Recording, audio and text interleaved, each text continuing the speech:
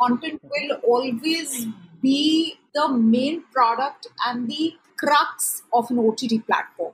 Content need not just be a short format series or a big format series. So, content is always going to be the king. But I have always said that the advantage of the digital is that the content can be segmented. In a platform itself, you have the advantage of creating content basis the insights you have on your consumer segments, basis the returns on the product, and depending on how you want to create your catalog and what is the kind of base that you're willing to look at. So, at ALT, we've spent almost three years studying our consumer segment, studying the product's returns, understanding what insights every product is getting in terms of the time spent by the audience, at what point of time are the audience dropping off, what are the content quirks that the audience are liking or disliking, which has allowed us to create content at also very affordable cost. Because let's not forget that digital is also about affordability if you want to truly penetrate, right? Mm-hmm. Content can be created basis analytics, but ultimately,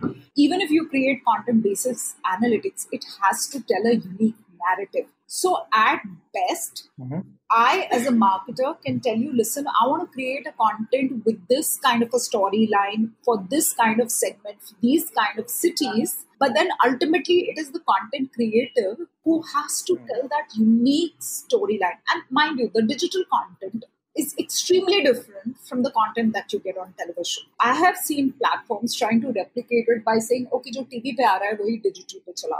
It has absolutely fallen flat as a strategy because people will not pay you for it. When people come on digital, they are looking for exceptionally different content from the broadcast content. So, content also has to be created as per the platforms.